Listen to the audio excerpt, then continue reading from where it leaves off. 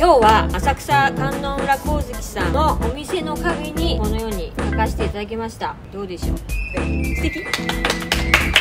一応あの店主のスーさんが喜んでくれてるのであのちょっとね筆書きの一発書きみたいなのではなくて少しこう輪郭をね埋めるっていう感じの書き方に今回してみました。まあ私なりに上出来かなというところです。お店の情報はこちらになります。遊びに来られる方すーさんまで声かけていてください。チャンネル登録高評価ボタンもよろしくお願いいたします。ありがとうございました。